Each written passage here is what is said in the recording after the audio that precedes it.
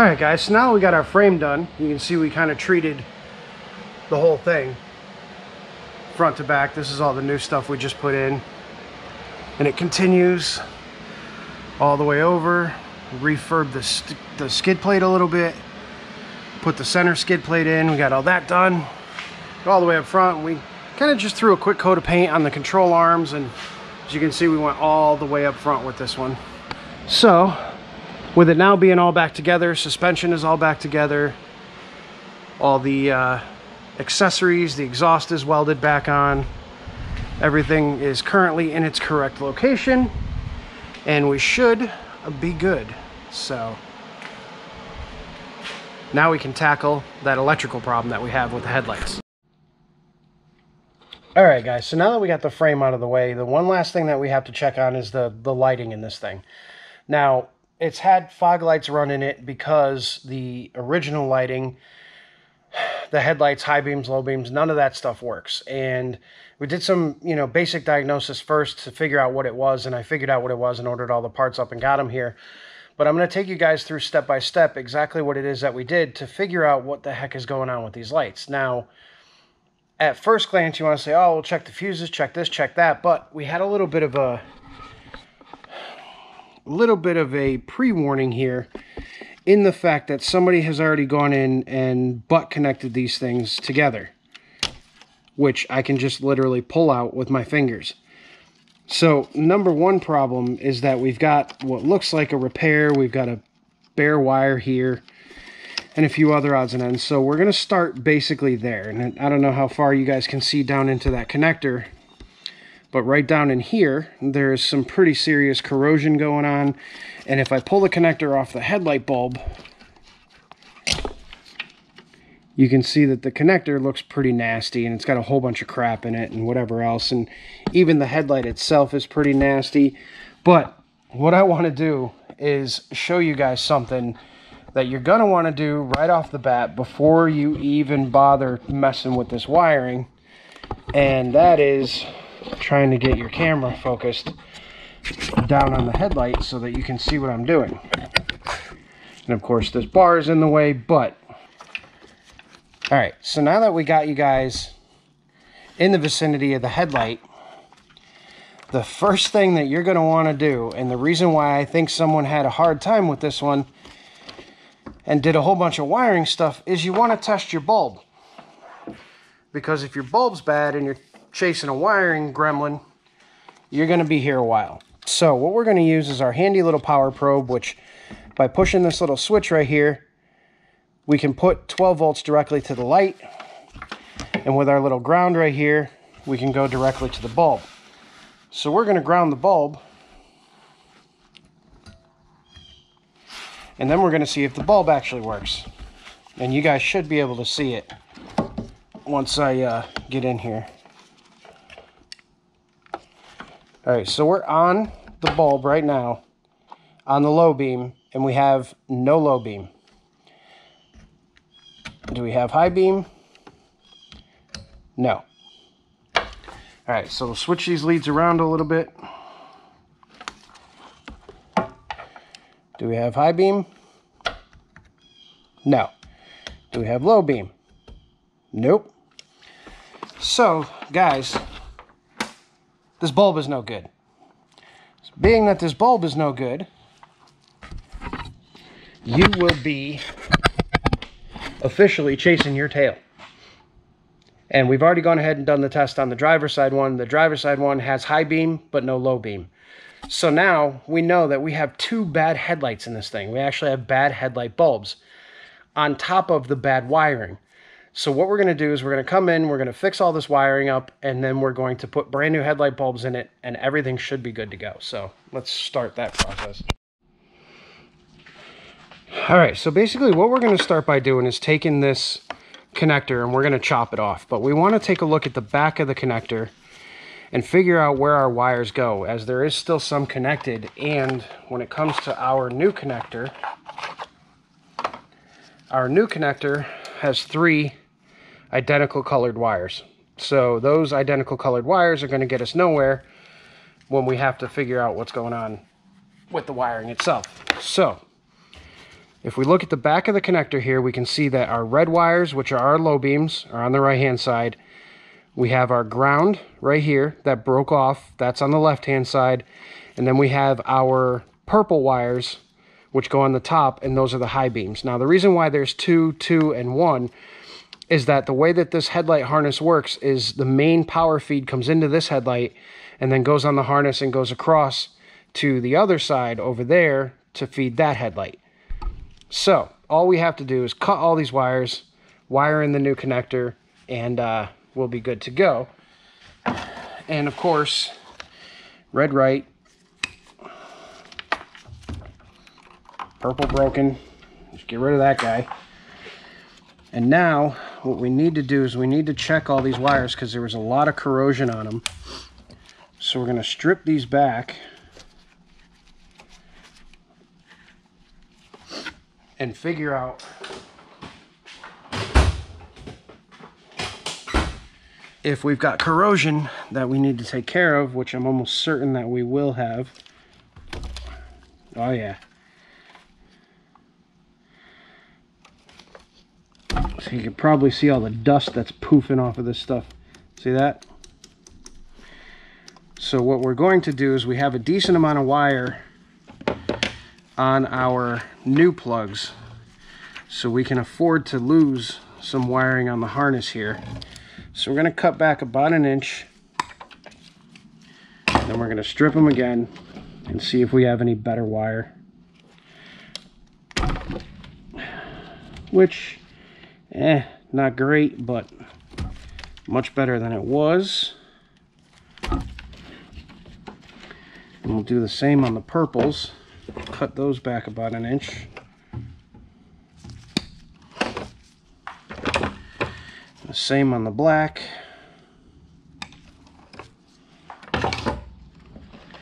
strip all these back and make sure they're good.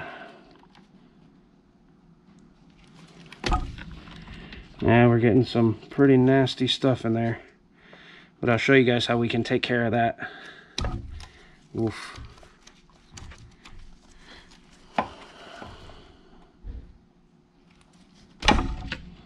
All right, the ground actually looks halfway decent, but let me grab something and show you guys how we're going to take care of all that nasty corrosion.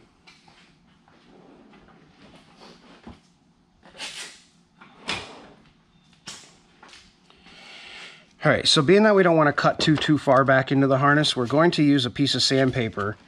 Now our wire is halfway decent, it's just a little bit black, and I don't know how well you can see that. But before we twist any of these strands together, we're going to take a piece of sandpaper, and just clean up this wire.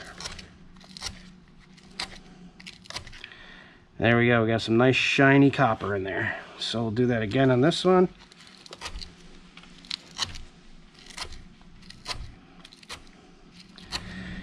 We'll just repeat that process for all of them.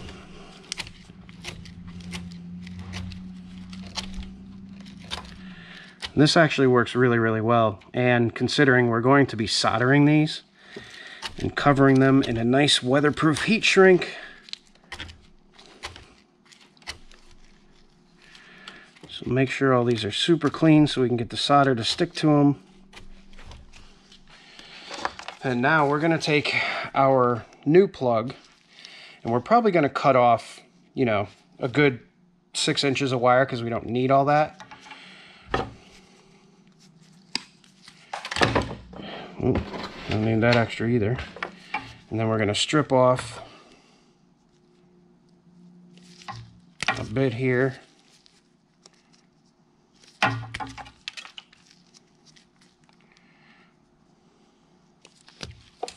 Right, so we got these all stripped. And now, before we go ahead and solder this stuff, we're to do what I always forget to do. Throw some heat shrink on there.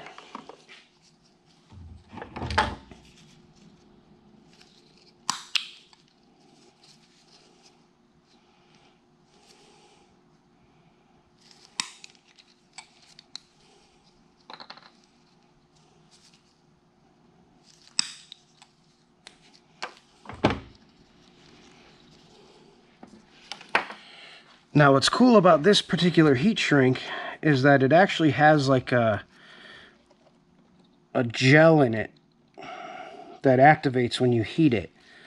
So what you end up with is like a almost like a glue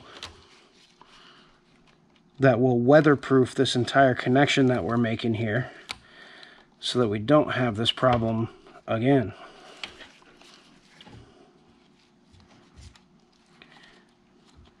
And it's also a 5 to 1 heat shrink, so it will shrink 5 times smaller than what you see right there. So now again, we're going to take our connector, and remember we had red on the right, black on the left, purple on the top, and we're literally just going to put it all together like that. Maybe strip a little bit more of this insulation off so we got some way to bind these wires together.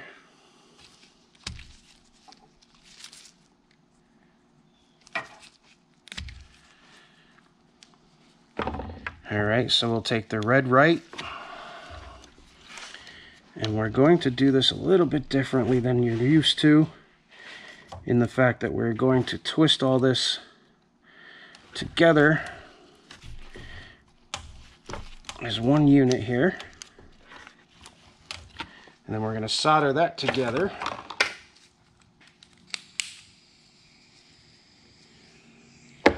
Gotta wait for our soldering iron to heat up. So we got the red on the right, we get the black on the left.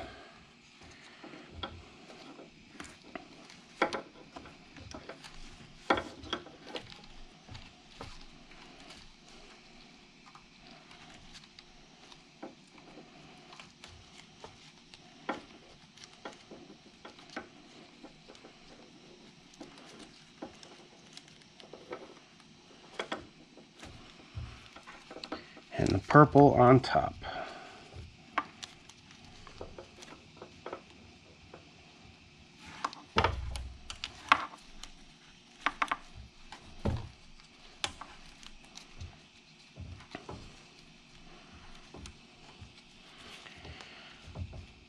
Now, I will always solder connections like this, and it's always a good idea to solder connections like this because headlights are high amperage drawing and any extra resistance is going to cause unwanted heat. And unwanted heat is going to cause things to melt. It can cause fuses to blow. It can cause current overdraws. It can cause all kinds of stuff. So you want to make sure that any of these connections that you do are super good and super well connected. Because ultimately not only does this feed this one headlight but these wires also run across the truck and feed the other side. So if we don't get these connections on point, we're not only going to have a problem with just this headlight, but we're going to have a problem with both headlights. So the more secure this connection is, the better off we're going to be. Now we'll do the same for the purples.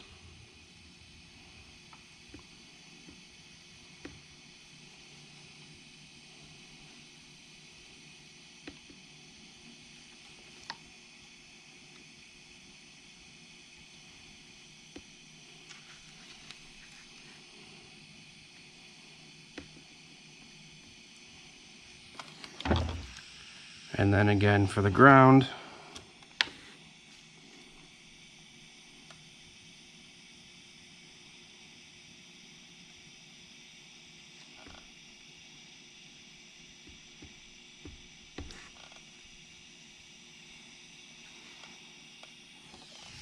And I don't know if you could see it in the video, but the grounds for these headlights are pretty simple because they're right here. They're literally on this bolt right here. So if you're having a headlight issue and your bulbs are good, then you can check this ground, make sure this ground is good, and then, you know, check your wiring, your connectors, and your harness.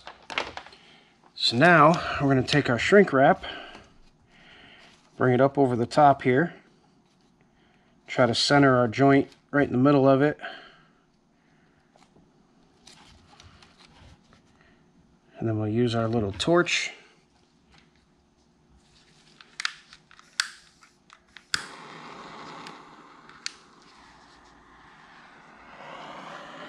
shrink this up.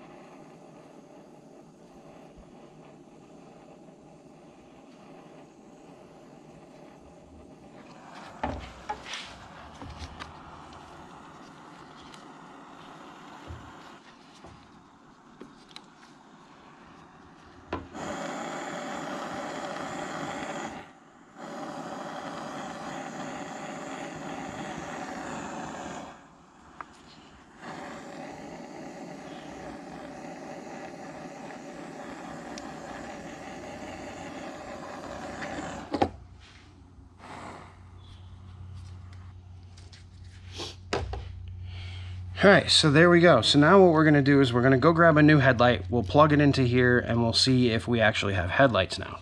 All right, so you guys will be able to see whether or not we have headlights before I do.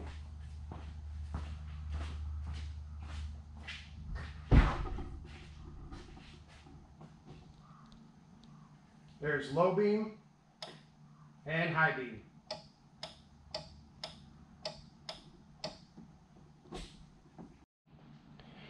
All right, so now that we know that that worked, we know that our fuses are good, we know our headlight relays are good, and we now know that our wiring to the first headlight is good. Now, what we have to do is the exact same process on the driver's side. Pop the headlight in and make sure everything is good. Now, I did remove the original piece of,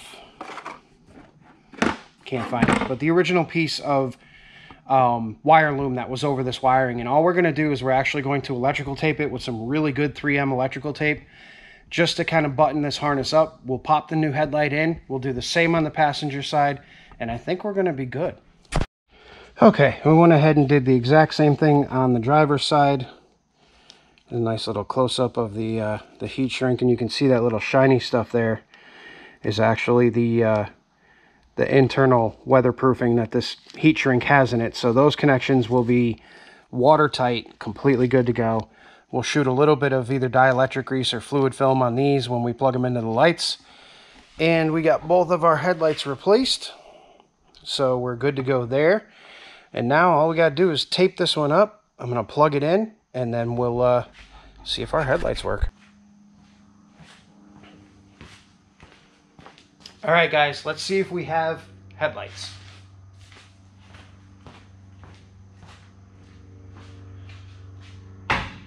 Low beam, looking good. High beam, also looking good.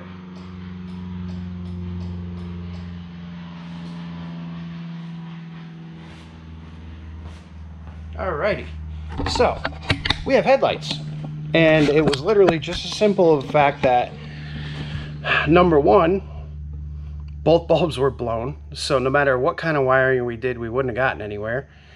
And number two, the wiring was completely toasted. I was trying to see if I didn't throw out one of the other plugs to really show you a close-up, but I did.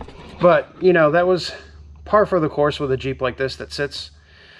You get a little bit of water on those connections, it causes corrosion, the wires break, they corrode down low, creates high resistance, starts blowing fuses, you know, the grounds go bad, all kinds of stuff like that. And that's one of the biggest things, you know, with electrical work is that you have to be on the lookout for not the obvious. You know, the obvious thing is, hey, we blew a fuse. And, you know, the second obvious thing might be, hey, the light bulb's no good. You know, the, the bulb burnt out. And the less likely is that there's a whole bunch of corrosion on the wires that you can't see or a broken wire somewhere. So it takes a little bit of, you know, testing around and messing around and, and trying to find, you know, the circuit itself that you're working with and then tracing the circuit back into seeing where you have power. Now, before I started this video, I actually turned the headlights on and checked for power at the broken wires, and I had power.